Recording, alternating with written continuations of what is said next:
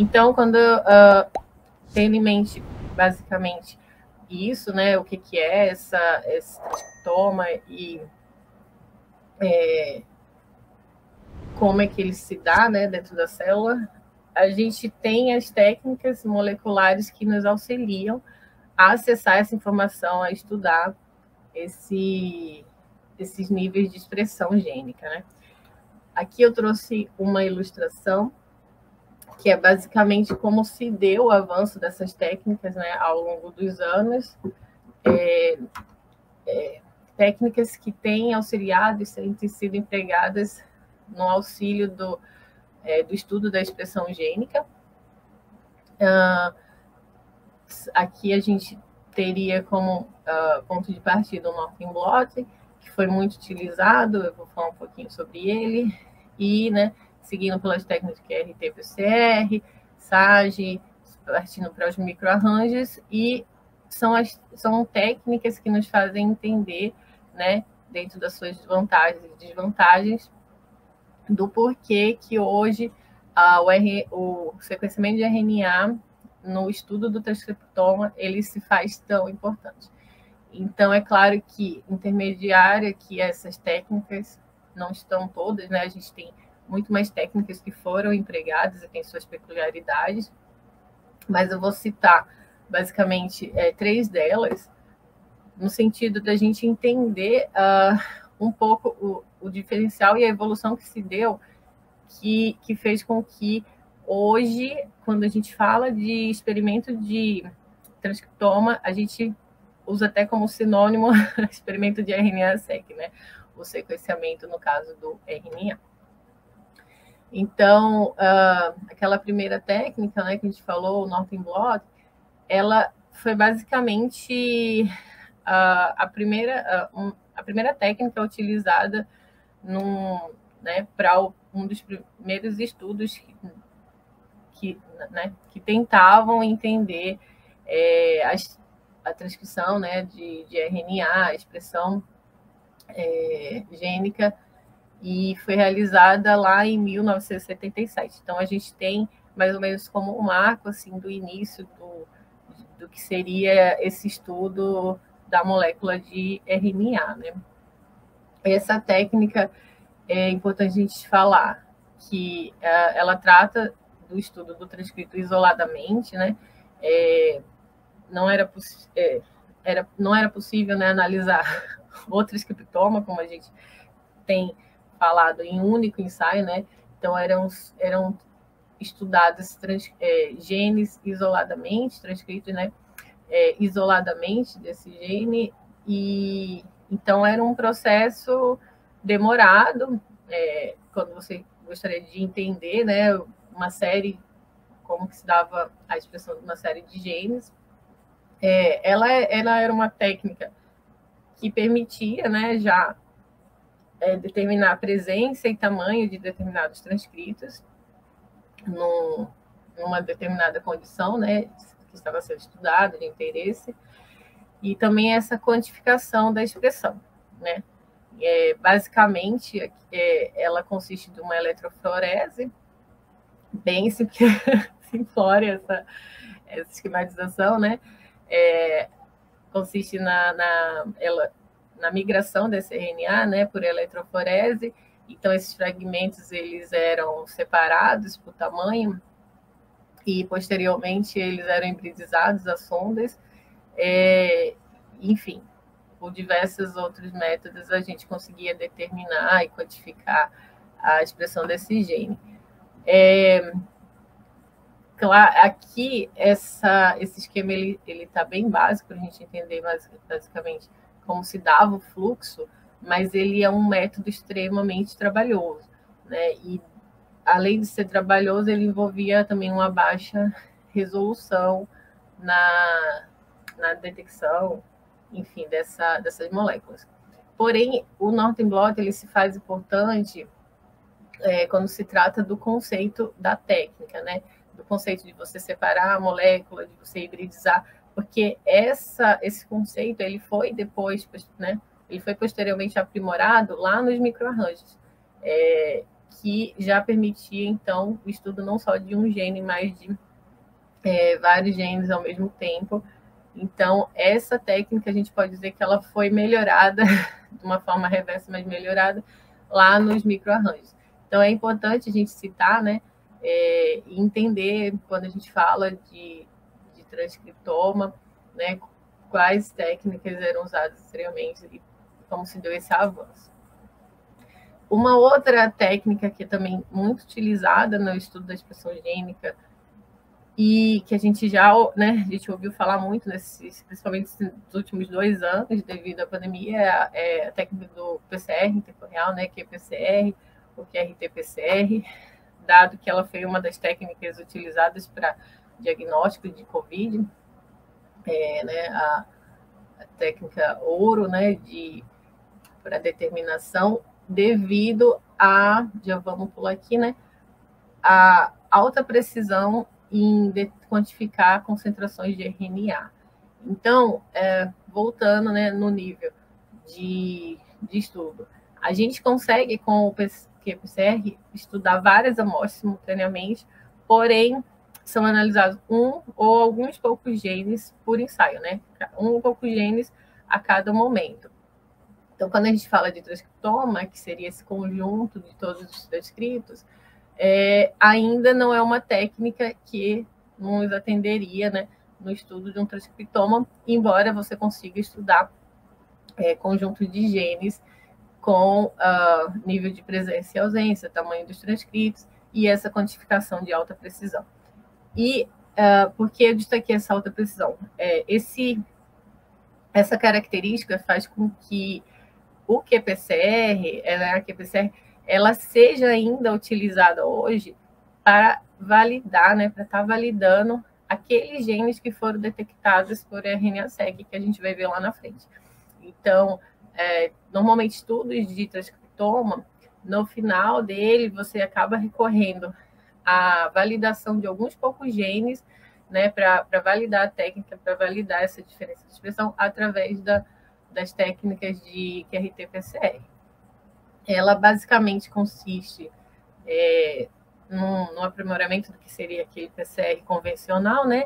Que é a partir do momento que a molécula ela é polimerizada, então a gente tem na, na solução uh, uma série de fluorófilos, né? O cyberguin que é um fluorófilo que tem afinidade pela molécula fita dupla. Então, a partir do momento que ocorre essa extensão da molécula e a produção de novas uh, moléculas de DNA, esse o sinal desse fluorófilo ele é emitido simultaneamente.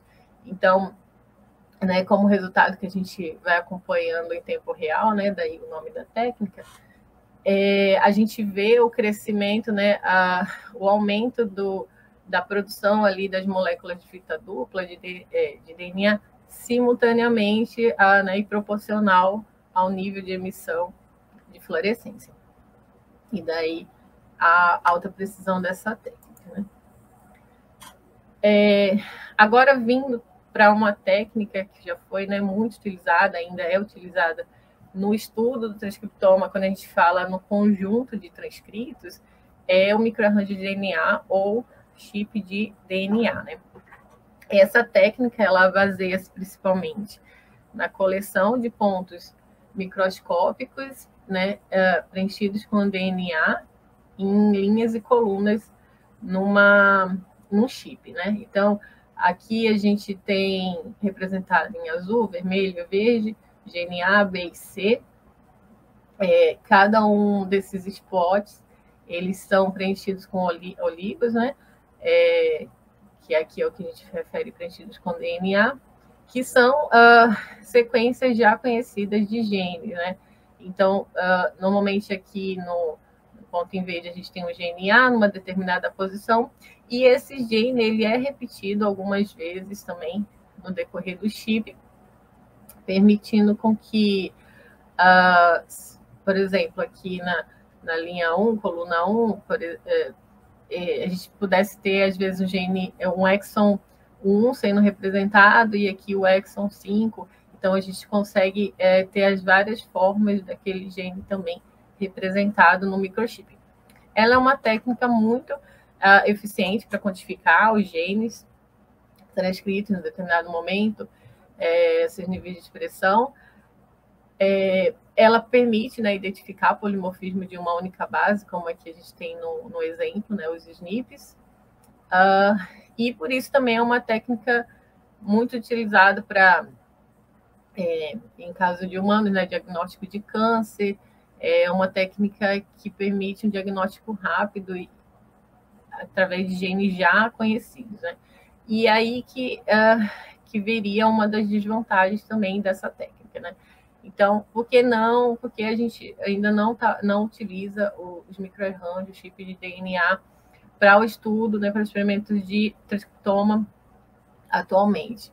A técnica ela tem algumas limitações é, que você depende da produção prévia desse chip, desse microarranjo, e isso pode levar alguns anos para a produção desse chip.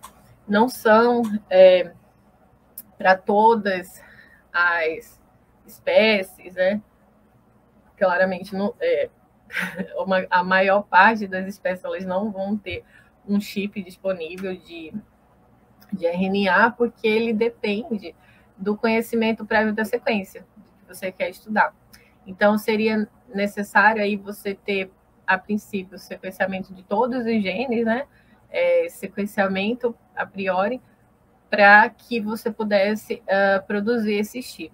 E normalmente, né, em humanos, isso sempre se dá primariamente e é mais comum quando qualquer tipo de estudo, e para espécies modelos de animais, plantas, né, como Arabidopsis, é, para espécies de interesse econômico, como arroz, milho, enfim, a gente já tem, a gente tem disponíveis tipos de, de DNA.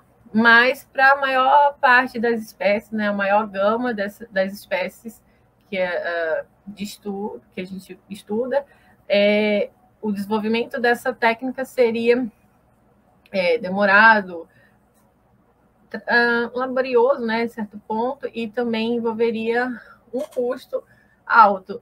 É, e na maioria das vezes ela não detecta atividade de genes, né? Ela, na verdade, ela não detecta atividade de genes não caracterizados, então normalmente só estão é, compostos no chip aqueles genes caracterizados. E enfim, dentre as desvantagens também a gente tem a questão da hibridação, hibridação cruzada, que pode ocorrer aqui é, na hora do, da hibridização desse chip. Uh, como é uma técnica que depende de, de anelamento, qualquer mismatch também é, pode alterar, a, modificar né, a forma como é, essa informação vai ser detectada, uma vez que não vai ocorrer o, a complementaridade, não não vai ocorrer o anelamento da sequência, né? E, enfim, essa, vocês terem eh, ideia, no, no chip de Arabidopsis, a gente tem em torno, né, é, de 24 mil genes é, representados. Mas com a técnica de RNA-seq, a gente já sabe hoje que Arabidopsis tem em torno de 26 mil genes. Então, é, por a gente não ter esses genes caracteri previamente caracterizados, eles não estão representados no chip e é uma gama né, de genes que você perde informação. É, então, nesse sentido, né, que as técnicas foram avançando, é, que o, o, sequenciamento de RNA ele tomou né, conta desse cenário e ele modificou a forma como a gente tem é, acessado a informação a nível de RNA. Isso se deu principalmente a partir de 2005, com o desenvolvimento das tecnologias de nova geração, porque uh, quando a gente fala de RNA-seq, sequenciamento de RNA, a gente está se referindo àquele sequenciamento de RNA que é realizado por essas plataformas de uh, segunda e terceira geração, né? Os sequenciamentos de nova geração. Então, seria aquele sequenciamento de plataforma HOT 454, o Illumina, Solid, aí um Torrent, e né, que surgiram aqui desde 2005, e eles foram evoluindo, uh, tanto no sentido da velocidade como a sequência sequenciada, nessa molécula é sequenciada, uh, o número de uh, o output que, que é gerado, o tamanho desse output, é, enfim, diversas características que foram sendo melhoradas e, ao mesmo tempo, também barateadas, né, ao longo dos anos, para que hoje a gente pudesse ter uh, o sequenciamento de RNA como a tecnologia mais utilizada quando se fala no estudo do transcriptoma. Né? Mais recentemente, a gente é, teve a geração desses, dessas plataformas chamadas de terceira geração, como PacBio e Oxford Nanopore, é, que já permite uh, o sequenciamento de moléculas mais longas de RNA. É, em muitos casos, ela até é, supre a necessidade, no caso, ela, ela supre a necessidade de estar tá gerando uma, uma biblioteca intermediária de cDNA, que a gente vai ver na hora de construção da biblioteca, que poderia estar tá mascarando né, certas bases ali. Então, ela, em alguns casos, você consegue ter acesso à molécula inteira do, do RNA sem a necessidade de fragmentação, que a gente vai ver mais à frente. Então, basicamente, seriam longos é, reads de RNA. É, esse avanço de, de técnica, né, é, esse avanço das plataformas também faz com que esse sequenciamento de RNA, o RNA-seq, ele tenha inúmeras vantagens, né, então, basicamente, ele não requer aquele conhecimento prévio da sequência, como a gente tinha nos microarranjos. É, você pode sequenciar qualquer tipo de organismo é, sem, sem esse conhecimento prévio do, do genoma da espécie. É, ela permite, então, com isso também, detectar e estudar né, a expressão de novos transcritos e aqueles genes de baixa né, expressão. É, você tem a vantagem de estudar variações nas sequências genômicas, aqueles eventos de splice que a gente conversou, é, eles requerem uma menor quantidade também de amostra de RNA para o experimento. É, né, essa, esse, essa, esse sequenciamento ele é detectado com alta acurácia e é, essa modificação na, na expressão gênica ela, ela é robusta, né? E além de ter uma ampla utilização com organismos mais complexos, organismos mais simples, né, como, por exemplo, as plantas poliplórides, que uh, o RNA-seq ele vem auxiliando né, no, no estudo do transcriptoma desse tipo de organismo, além de comunidade de organismos, né, no metatranscriptoma, quando você tem uma comunidade de diversos micro-organismos ali que você vai estudar esse transcriptoma ao mesmo tempo. É, então, quais seriam as desvantagens de todas essas vantagens que eu acabei de falar? Uma vez que você tem uh, o sequenciamento de todos os transcritos, né, de determinado momento, desenvolvimento de determinado uh, tecido, é, a gente também tem, consequentemente, uma grande quantidade de dados para trabalhar. Então, todas as sequências de todos esses transcritos, eles, é, eles demandam um armazenamento e um processamento de dados superior, que demandaria, consequentemente, um computador de alto desempenho e o conhecimento né, de especialistas em bioinformática, para você estar tá lidando com toda a variação e uh, né, a informação contida nesse turbilhão de, de informações. Ah, a fragmentação do RNA, né, como a, a, tecnologia de segunda geração, que produz short reads, ela é a, é a, tec, é a plataforma mais, mais, mais comumente utilizada e ela tem essa etapa de fragmentação do RNA, ela pode se dar como uma desvantagem a partir do momento que você tenta reconstruir, né, é, montar essa molécula e, enfim, as diferentes isoformas também, isso pode ser uma das desvantagens dessa técnica, uma vez que você tem a reads é, proveniente de fragmentos curtos, né, que foram fragmentados aí desse, desse RNA total, é, que podem, então, também estar uh, tá sujeitos a erros, né, tanto na, na hora dessa reconstrução dessa molécula, como também os erros provenientes da plataforma de sequenciamento, né, os erros embutidos em cada plataforma em especial. Então, o que a gente fala aqui de plataforma é aquelas, né, as máquinas do sequenciamento. Cada, cada máquina ela pode estar sujeita a erros técnicos, então alguns deles podem estar embutidos na, na produção da sua sequência final. É, e também é, ela envolve, a gente poderia colocar aqui como uma desvantagem, mas é um, é um, é um passo até né, comum, simples e fácil de resolver, que é o de validação com métodos adicionais. Então, uma vez que pode ocorrer essa, esses erros provenientes das plataformas de sequenciamento, é, você validar um conjunto de genes no sentido de uh, validar a sua técnica, né, técnica que foi utilizada, ela é necessária. Uma vez que você valida poucos genes é, e você comprova né, a expressão daqueles poucos genes que foi avaliada né, é, pela, pelo sequenciamento, né, vamos dizer assim, in você automaticamente está validando todo o seu experimento. Então, essa etapa, ela se faz necessária aqui. Uh, então, tomando né, em conta, levando em consideração todas essas vantagens do RNA-seq, é, a gente pode dizer que ele revolucionou, de fato, a maneira pela qual os transcritos de RNA eles são analisados e ela tornou-se a técnica né, preferida para os estudos de transcriptoma. Então, uh, mais uma vez, quando a gente fala de transcriptoma, a gente está falando principalmente uh, daqueles RNAs mensageiros, que são os RNAs é, codificantes de proteína, e as, é, estudado pela técnica de RNA-seq, né, o sequenciamento uh, do RNA. Então, basicamente, quando a gente uh, fala que, que uh, vai fazer um estudo de transcriptoma, hoje em dia a gente já usa como sinônimo, a gente vai fazer o experimento de RNA-seq.